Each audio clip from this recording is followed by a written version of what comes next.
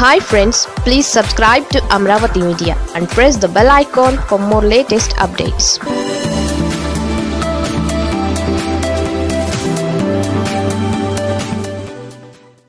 రాష్ట్రంలో ఇక యాత్రల జాతర. లోకేష్తో వీళ్ళంతా సాయి. ఎన్నికలు దగ్గర పడుతున్న కొద్దీ రాష్ట్రంలో రాజకీయ వేడి పెరిగిపోతోంది.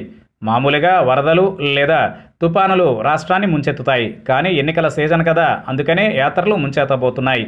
ఇంతకీ విషయం ఏంటంటే జనవరి ఇరవై ఆరు నుండి కాంగ్రెస్ పార్టీ ఆధ్వర్యంలో పాదయాత్రలు మొదలవబోతున్నట్లు పీసీసీ అధ్యక్షుడు గిడుగు రుద్రరాజు ప్రకటించారు.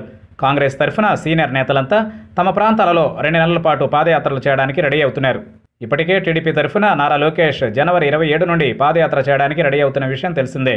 కుప్పంలో మొదలయ్యే పాదయాత్ర శ్రీకాకుళం జిల్లాలోని ఇచ్చాపురంలో ముగియబోతోంది. ఏడాది పాటు సుమారు నాలుగు వేల కిలోమీటర్ల యాత్ర చేయాలని లోకేష్ డిసైడ్ అయ్యారు. ఇదే సమయంలో కాస్త అటు ఇటుగా జనసేన అధినేత పవన్ కళ్యాణ్ ఆధ్వర్యంలో వారాహి యాత్ర మొదలవబోతోందని అంటున్నారు. ముచ్చటపడి చేయించుకున్న వారాహి వాహనంలో రాష్ట్రాన్ని చుట్టేయడానికి ప్లాన్ చేస్తున్నారు. అంటే ఒకవైపు కాంగ్రెస్ మరోవైపు టీడీపీ పాదయాత్రలు మొదలవబోతున్నాయి. కొంచెం అటు ఇటుగా పవన్ యాత్ర కూడా మొదలవుతుంది. మూడు వైపులా కాంగ్రెస్ టీడీపీ జనసేన నేతలు యాత్రల పేరుతో నెలల తరబడి జనాల్లోనే ఉండబోతున్నారు.